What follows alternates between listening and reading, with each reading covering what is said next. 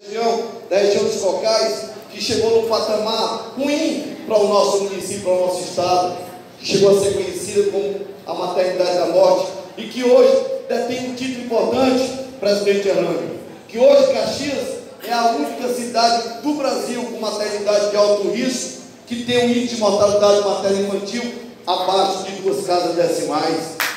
Isso mudou. Eu sei que sim,